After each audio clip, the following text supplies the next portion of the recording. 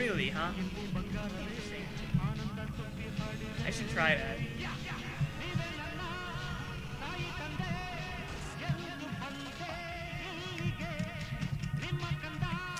That was...